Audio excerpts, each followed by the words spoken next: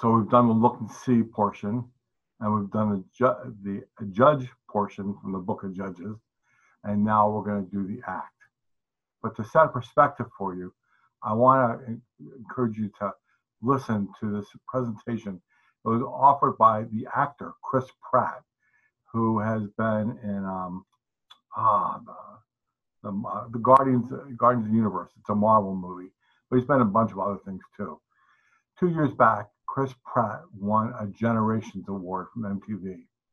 Generations is like you know, um, kind of like an all-timer kind of award. He gave a memorable speech that offered nine rules of life. Some of them are silly, and some involve a little bit of gross bathroom humor, so you're welcome. But others are about a way of sharing faith. Okay, so I got caught here. Um, I tried to include a, uh, an uploaded video from a from YouTube from the MTV Awards, and uh, and then I got flagged by YouTube.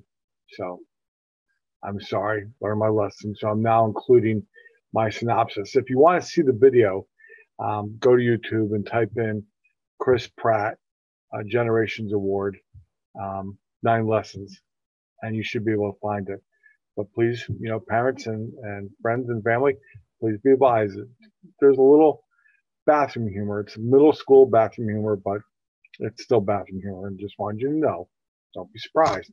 Okay the rules that I wanted to pay attention to that Chris Pratt mentioned, he's got nine rules, and four of them are related to God. And those four rules are be careful with your soul. You only get one.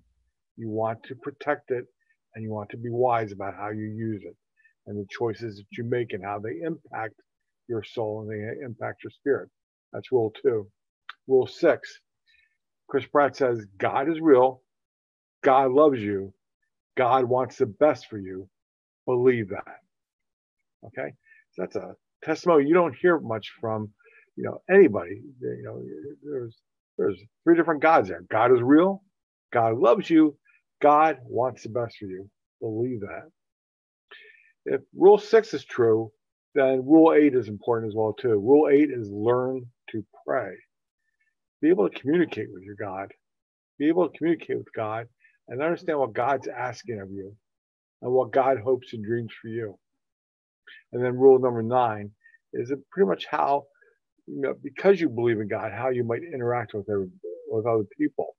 And that would be rule number nine. No one is perfect, except that a higher power, a powerful force made you that way. You're not perfect, and neither is everybody else. That should increase your level of patience and understanding for other people and for yourself. You're not perfect. The powerful force, God, yeah, probably is. Careful with your soul, too. God is real. God loves you. God wants the best for you. Believe that. Six, learn to pray. And then nine, nobody is perfect except the power force made you that way. So no, I'm not perfect. So I've now cleaned up my issue with the video. So, and I feel better about it. Thank you.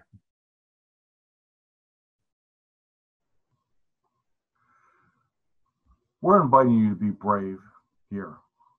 And we're inviting you to consider how you might share messages like Chris Pratt did, about how you might share the word about rule two. Rule two, be careful with your soul. Or rule six, God is real. God loves you. God wants the best for you. Believe that. Or rule eight, rule eight, learn how to pray take an opportunity and figure it out and learn how to pray and communicate with God. And then finally, rule nine nobody's perfect, but accept as a powerful force in the world that made you who you are and made you that way.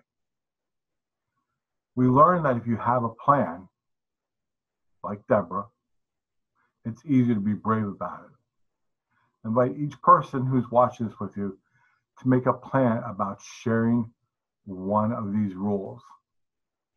Be careful with your soul.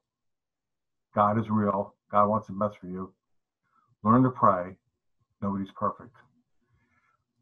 Make a plan about how to share that, this rule in a loving and generous way to other people.